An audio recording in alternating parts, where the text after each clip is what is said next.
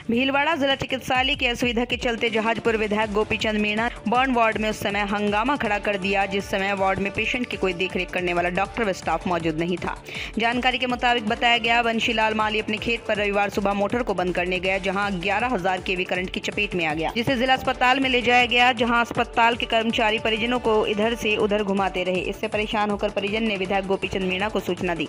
वहीं सूचना मिलने पर विधायक गोपीचंद मीणा भी अस्पताल पहुँच। जानकारी जुटाने की कोशिश की। काफ़ी समय बीत जाने के बाद डॉक्टर बंशीलाल का इलाज शुरू किया। विधायक गोपी चंद मीणा ने कहा, परिजनों की सूचना मिलते ही कुछ समय में जिला अस्पताल में पहुँचे तो यहाँ की व्यवस्थाओं को देखकर चंबित रह गए।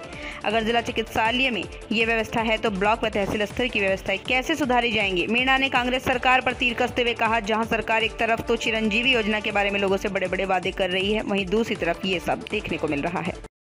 आज जिला मुख्यालय अस्पताल भीलवाड़ा में महात्मा गांधी अस्पताल में एक पेशेंट को भर्ती कराया गया। उसकी ग्यारह हज़ार करंट इलेक्ट्रिक करंट आने से उसको यहाँ भर्ती कराया गया, बंसीलाल माली। उसके परिजनों ने हमारे को सूचना दी कि सर हम साढ़े बारह बजे अस्पताल परिसर में उसको भर्ती करा दिया। उसके बाद भी कोई डॉक्टर संभालने वाला नहीं है। सरकार की यहाँ अस्पताल की अव्यवस्थाओं को देखते हुए हम तुरंत यहाँ पहुँचे। हमने प्रधान जी कोटड़ी पंचायत करण सिंह जी बेलवा साहब और हम सब लोग यहाँ आए, उनसे बात की और प्रशासन से, माननीय जिला कलेक्टर महोदय से बात की पीएमओ सर से बात की और सीएमएचओ से बात की। उसके बाद एक घंटे, सवा घंटे बाद डॉक्टर्स आए, फिर ट्रीटमेंट चालू किया इलाज।